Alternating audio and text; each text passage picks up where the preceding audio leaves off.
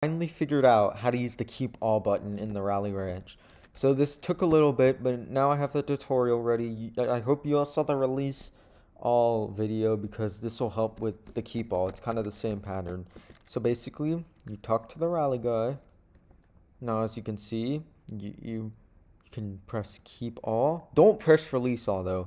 Releasing all of them will um, release all of them. So you press keep all, then go to your Lumi box, and yeah, you keep all of the Cathorn or whatever you're rallying.